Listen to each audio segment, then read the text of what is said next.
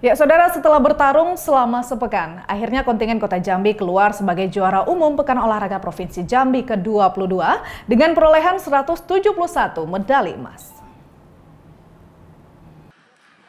Kemenangan yang diraih oleh tim sepak bola Kota Jambi dengan skor akhir 2-1 atas tim sepak bola Batanghari menjadi penutup perolehan medali emas untuk Kota Jambi dengan total perolehan 171 medali emas. Perolehan medali ini sesuai target yang telah ditentukan oleh pemerintah dan KONI Kota Jambi. Pemerintah Kota Jambi telah menyiapkan bonus bagi atlet-atlet yang berhasil meraih medali dan selanjutnya akan dipersiapkan untuk PON di Papua mendatang. Terkait juga dengan peningkatan prestasi dari tahun 2015 ya, yang tadinya emas 147 tapi saat ini 171 sesuai dengan target disampaikan cabur Malikoni kepada kami bahwa Potprom kali ini ditargetkan 171 emas.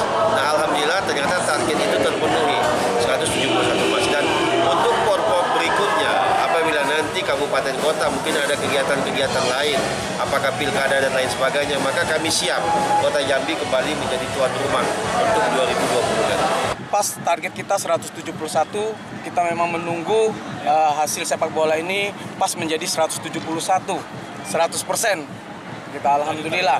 Ini target yang uh, sangat luar biasa dibanding uh, uh, yang kemarin kita mengikuti pertandingan 432 pertandingan yang emas diperbutkan. Alhamdulillah kita 171 uh, berarti sekitar 45 persen lebih kita uh, mendapatkan uh, medali emas. Berikut hasil akhir perolehan medali Pekan Olahraga Provinsi ke-22 tahun 2018.